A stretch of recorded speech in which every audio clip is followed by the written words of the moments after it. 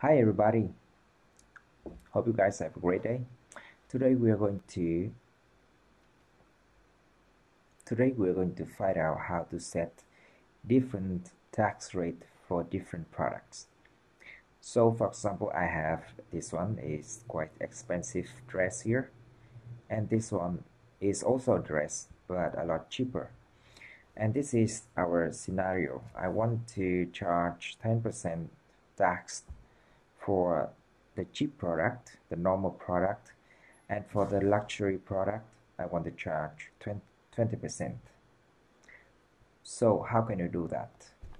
It's actually very easy, and that is the power of the tax class that we are going to discover in this video. So let's go to the dashboard.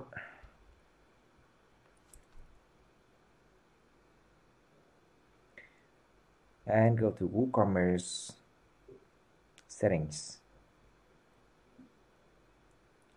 Click on tax. And you can see that uh, I have a standard rate tax already set at 10%. So this is the default rate will uh, be applied to all products on the store. So I don't need uh, to to do anything else for the normal product. But for the expensive expensive product I go to tax options and I'm going to add a new tax rate a new tax class. That is called luxury luxury uh, rate. Okay? And this this box you can add as many lines as you want now click on Save Changes. You can notice that we have a new tab here for us to configure the rate for the product. So I click here.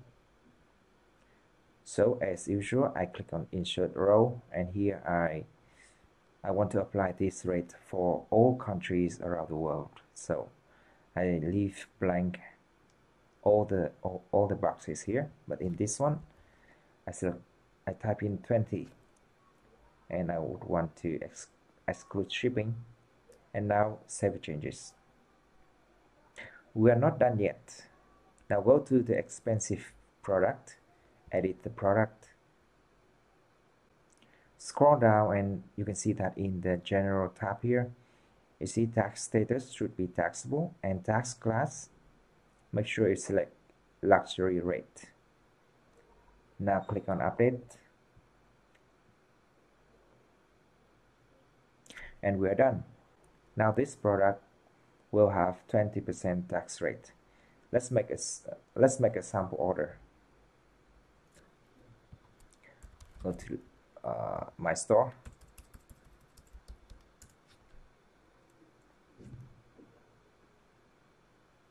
and this is the expensive product. This is the normal product. I'm going to add one item to cart. And this one I'm going to buy another one. Now all the products are added to cart. Now go to click here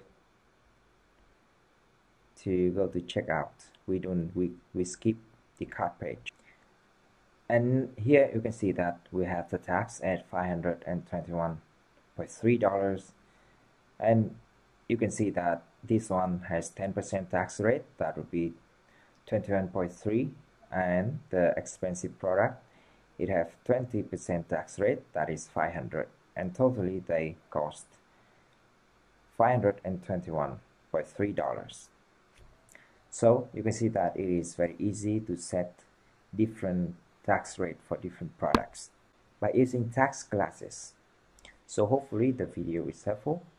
If you have any questions, please let me know and don't forget to like and subscribe to my channel. See you in the next video.